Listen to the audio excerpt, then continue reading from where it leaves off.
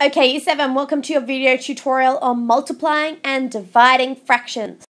Now, you'll be very glad to hear multiplying and dividing fractions is far more straightforward than adding and subtracting. So when we look at the other two operators, it becomes much easier, and I'm going to show you why. Okay, let's look at this first example here. It says 2 thirds times 1 fifth. Now, when we multiply two fractions together, all we have to do is multiply the top, the numerator by the numerator, and the denominator by the denominator. So that becomes 1 times 2 is 2, 3 times 5 is 15.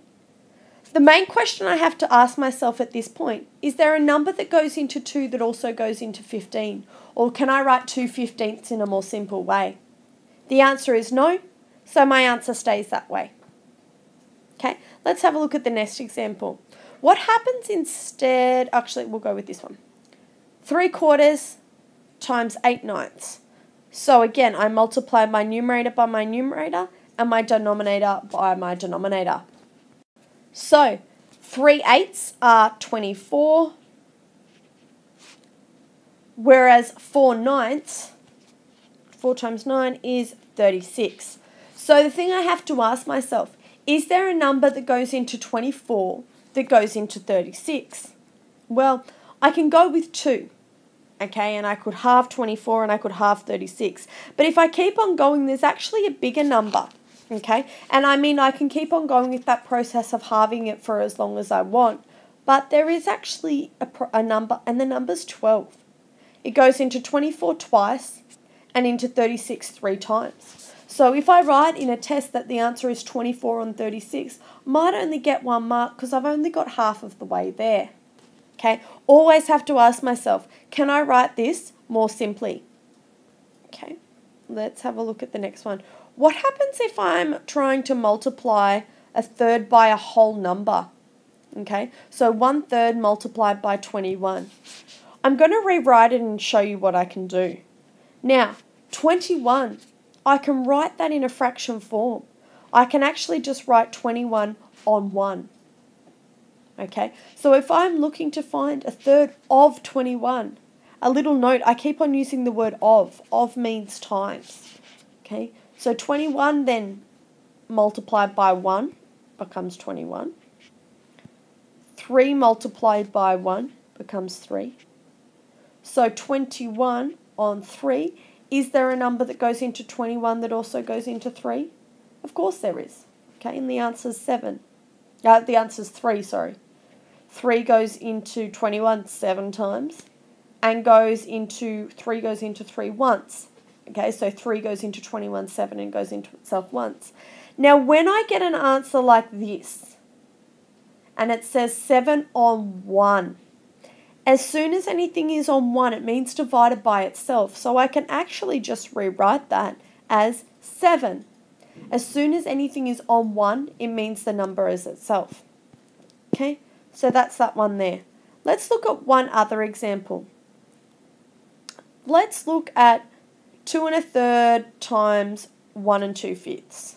Okay, I'm going to deal with the fraction separately. I'm going to go, okay, that's the same as saying 1 third times 2 fifths times 2 times 1.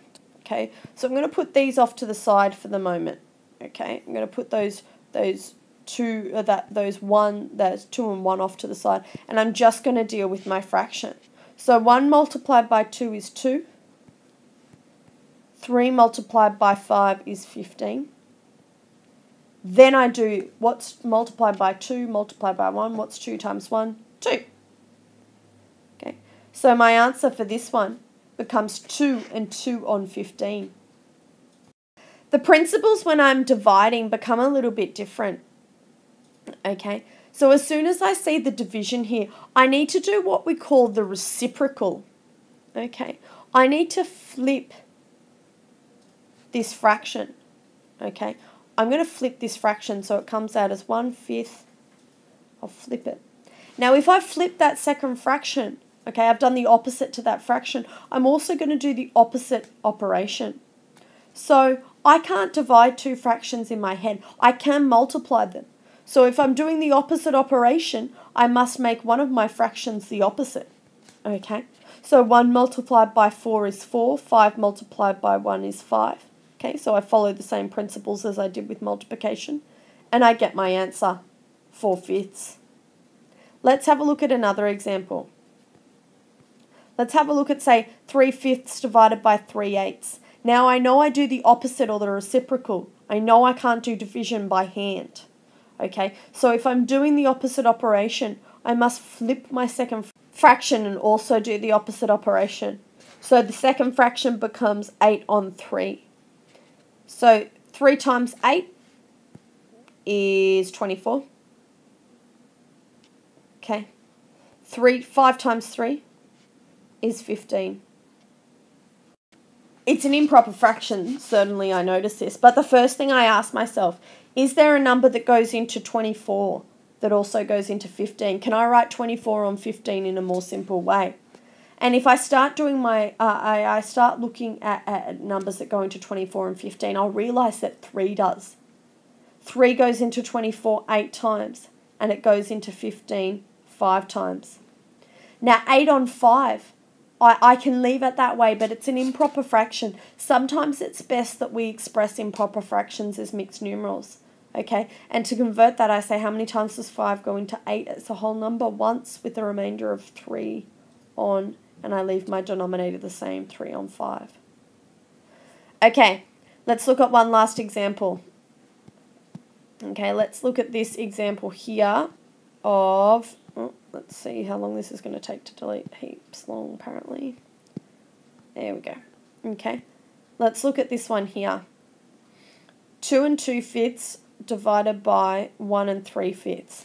Now, this one's actually a little bit a little bit complicated. So the first thing I'm going to do, because I notice they both have the same denominator, okay, the first thing I'm going to do is I'm going to change them into an improper fraction just so it makes a bit more sense for me.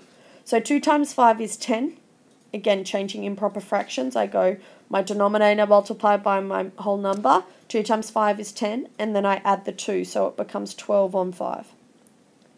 Okay, 1 times 5 is 5, plus 3 is 8 on 5.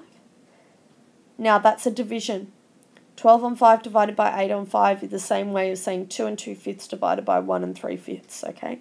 But I know that I can't do this in my head. So I actually have to swap them around. And I have to do the opposite operation. So 12 times 5 when I put 12 times 5 sorry when I when I flip the when I flip the fraction I get 12 times 5 12 times 5 is 60 okay. And then when I do 5 times 8 I get my answer of 40 40 I ask myself, is there a number that goes into 60 that also goes into 40? I can see 10 immediately. I see there's a 0 there and there's a 0 there, so then I get 6 on 4. Okay, but then I still need to ask myself, is there still a number that goes into 6 that goes into 4? And the answer is 2. 2 goes into 6 three times and goes into 4 twice. Always constantly ask yourself, can I simplify this further? Now you'll notice again the same thing has happened here. It says 3 on 2, so it's an improper fraction. So I'll have to rewrite that to 1 and a half. 2 goes into 3 one whole time with one remainder. So my answer for this one here becomes 1 and a half. I got given it as a mixed numeral. That was the purpose of my question. Therefore, my structure of my response also has to be in a mixed numeral.